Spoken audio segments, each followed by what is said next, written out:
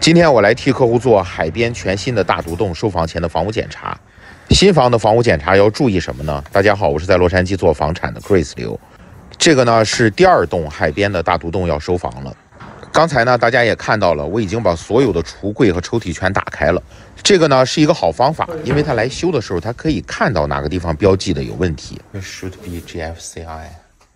So that's all of the outlets are all connected to, to the breakers. Um, we don't we don't have individual. Um, 刚才呢，我是在问工作人员断电保护开关的问题，所以第二点就是，大家有问题可以尽管的问，因为一个问题有可能会牵扯出更多的问题。咱们正好看一下这个院子怎么样？这个院子过不过瘾？这么大的一个院子。第三个呢，就是一定要细心。因为像这个墙啊，或者说其他的地方，它都会有这种碰漆和磕碰的问题。像这个芝麻粒儿这么大小的，那咱们也要求他去修好。这个就是将心比心了，本着对客户负责的一个态度。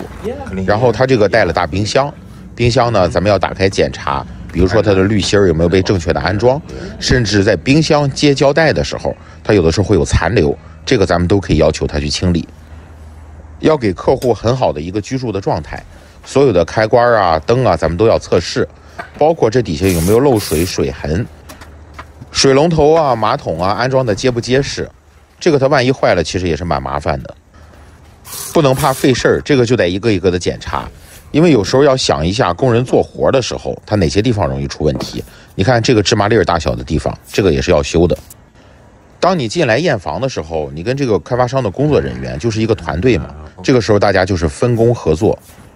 所以呢，一开始的沟通对后面的这个验房很重要。咱们检查到二楼了，这里是二楼的客厅。做这行时间长了，对不同的开发商哪个地方容易出问题，其实心里都清楚。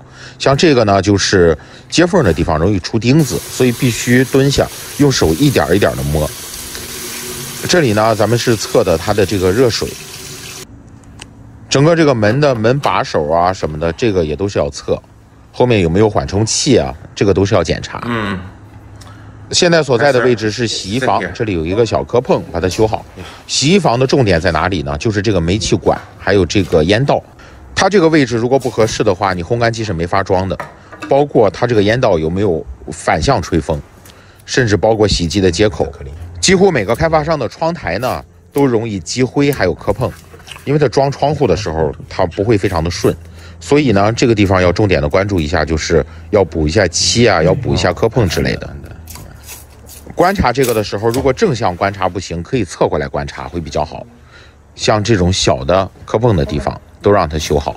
如果是二手房呢，就需要关注更大的方面和不同角度的经验，然后不同年代、不同结构、不同地势的侧重点都是不一样的，甚至要在买房前预判。